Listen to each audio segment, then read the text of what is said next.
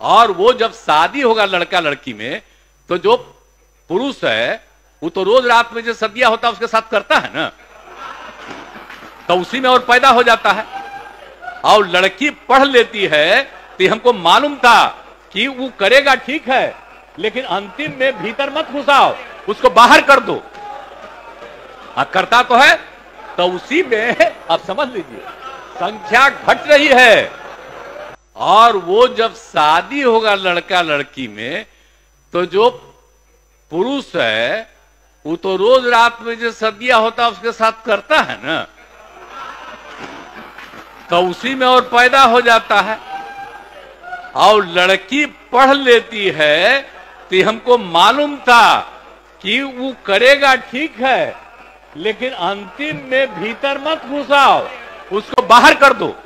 आपने माननीय मुख्यमंत्री नीतीश कुमार का बयान सुन लिया होगा। अब इनको तो माननीय कहने में भी शर्म आती है और पूरा का पूरा बिहार शर्मिंदा है और शर्मिंदगी इस बात की है कि हमारे बिहार के मुख्यमंत्री नीतीश कुमार जैसा अश्लील व्यक्ति है, जो कि भरे विधानसभा में ही नहीं, बल्कि बिहार विधान परिषद में भी अपने इसी बयान को दोहराता है। और आपने अश्लील बयान सुन लिया होगा, जब मुख्यमंत्री नीतीश कुमार विधानसभा में ये बयान दे रहे थे तो बगल में बैठे उप मुख्यमंत्री तेजस्वी यादव खीखी करके हंस रहे थे और तेजस्वी यादव ने इस अश्लील बयान का कैसे समर्थन किया है, वो बात भी जरा आप सुन लीजिए। अगर कोई गलत मतलब निकालता है तो ये गलत बात। एक तरह से जो भी मुख्यमंत्री जी का बयान आया तो सेक्स एजुकेशन के बारे में, और जब भी सेक्स एजुकेशन की बात की जाती है तो इसकी लोग जो है, शर्माते हैं, हिचकते हैं तो उससे लोगों को बचना चाहिए। तो स्कूलों में पढ़ाई होती है भाई। साइंस बायोलॉजी ये तो स्कूलों में पढ़ाई होती है। बच्चे पढ़ते हैं भाई। तो हमको लगता है अगर सेक्स एजुकेशन की अगर बात आई, उनका कहने का मतलब आबादी कंट्रोल जो है, क्या करना है, वो प्रैक्टिकली बात जो भी आती है, उन्होंने अपना बात किया।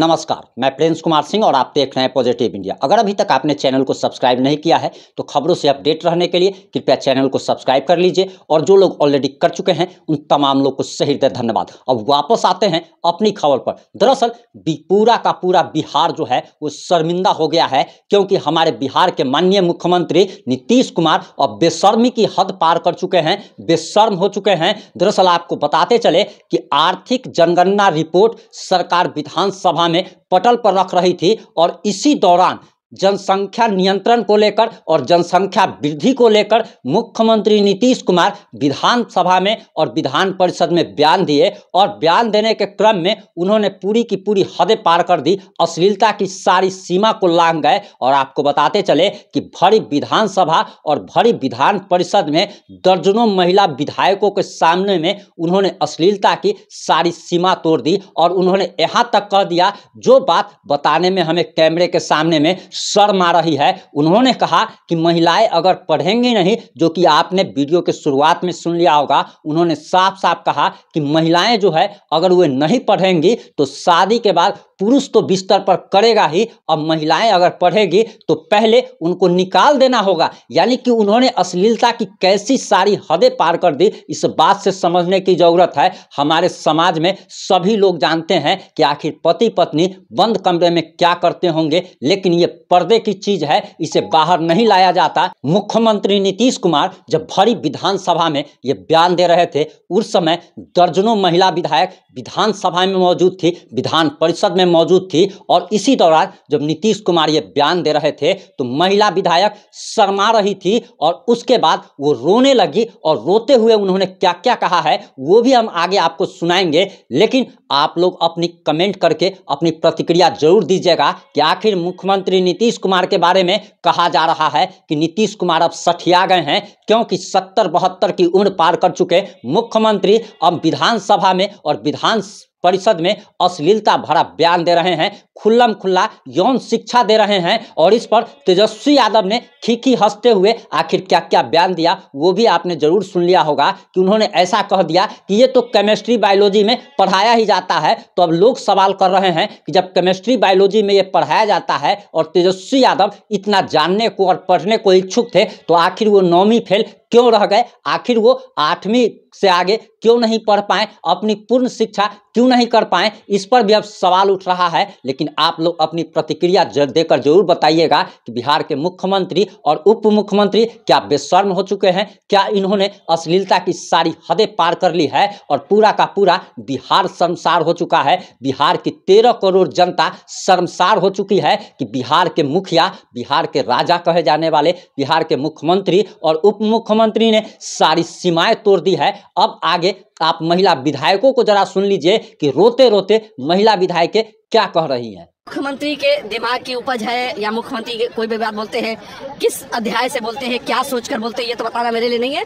लेकिन एक सदन में इस तरह की बातों को करना कहीं से भी उचित नहीं था, कहीं से भी न्याय उचित नहीं था कि एक महिला के ऊपर इस तरह की अभद्र टिप्पणी करें आप। आखिर ऐसा क्या हुआ? नहीं होता है कि आपको रोना पड़ गया। नहीं सुन के बहुत अंदर से भावना बहुत दुखी हुई कि महिला इतनी छोटी चीज़ है कि उसके व्याख्यान और बहस है जिसके विषय में सभी लोग जानते हैं। कौन नहीं जानता इस विषय को? लेकिन इस विषय को आपको सार्वजनिक तौर पे और वहाँ जो गिने चुने लोग बैठे हुए हैं जो संविधान बनाते हैं कानून बनाते हैं उनके बीच में आप क्या बताने की कोशिश कर रहे हैं? कौन व्यक्ति नहीं है माँ? कौन व्यक्ति नहीं है पिता? कौन व्यक्ति नहीं है सास ससुर? कौन व्यक्ति नहीं है शादीशुदा? किसको आप ये बात बता रहे हैं? आप इस सदन के माध्यम से किसको बयान है? तो बाहर में खड़ा होकर गांधी मैदान में घोषणा कर देना। वहाँ जाके सेक्सुअल क्लास शुरू करवा देते हैं जी मुख्यमंत्री जी। मना किया है कोई? लेकिन आखिर कांग्रेस के कई महिला विधायकों ने कहा कि स्लिप ऑफ़ टंग है। लेकिन विधानसभा के बाद विधान how how can slip of tongue ये सोची समझी बयान है मुख्यमंत्री जी की। मुख्यमंत्री जिस संगत में रह रहे हैं, उसी संगत का गुण उनपे परिलक्षित हो रहा है।